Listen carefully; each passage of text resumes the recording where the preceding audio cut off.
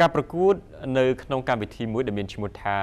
Super Data Race របស់ក្រុមហ៊ុន Cellcard បានមកដល់ទឹកដីនៅខេត្តកំពង់ចាមហើយជាទីតាំងទី4ក៏ដូចជាខេត្តទី4ដែលនឹងរៀបចំព្រឹត្តិការណ៍ដ៏ពេញនិយមនៅក្នុងខេត្តមួយនេះការប្រកួតនឹងចាប់ផ្ដើមក្នុងខេត្តកំពង់ចាមនៅវេលាម៉ោង4រសៀលថ្ងៃទី28ខែកក្កដាឆ្នាំ2019ដែលមានទីតាំងនៅក្នុងវិទ្យាល័យព្រះសីហនុ ដើម្បីមានសិទ្ធិចូលរួមប្រកួតបេក្ខជនត្រូវឲ្យទាញយកនៅកម្មវិធី Super Data Arrest ពី Google Play ឬក៏ iOS App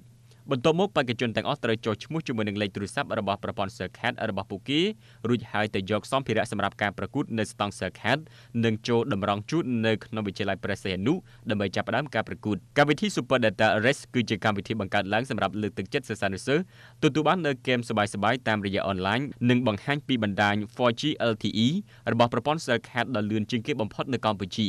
បេក្ខជនអាចទទួលបាននូវឱកាសឈ្នះរង្វាន់មានដូចជាទូរស័ព្ទ iPhone XS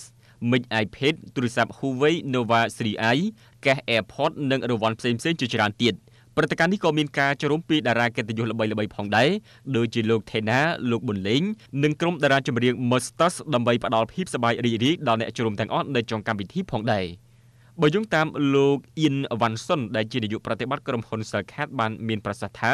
កម្មវិធី Super Data Arrest នៅតែបន្តទទួលការចាប់អារម្មណ៍ពីអ្នកលេងជាច្រើននៅតាមបណ្ដាខេត្តនានាកម្មវិធីប្រកួតនេះបានក្លាយទៅជាវេទិកាដ៏ពេញនិយមសម្រាប់យុវវ័យខ្មែរដើម្បីទទួលបាននូវបទពិសោធន៍ច្នៃប្រឌិតថ្មីសម្រាប់ហ្គេមអនឡាញនិងរីករាយជាមួយនឹងពិភព Digital ក្រុមហ៊ុនចង់ឲ្យអតិថិជនទទួលបាននូវបទពិសោធន៍ប្រើប្រាស់ប្រព័ន្ធទំនាក់ទំនងដ៏មានល្បឿនលឿនដែលប្រណាំងទៅនឹងពេលវេលាដើម្បីបំបែកគន្លឹះហ្គេមនិងរីករាយជាមួយជាមួយនឹងការព្យាបាលគ្រប់វគ្គ Super Data Race ជាមួយនឹងបណ្ដាញដែលទទួលបានពានរង្វាន់ល្បឿនលឿនរបស់យើង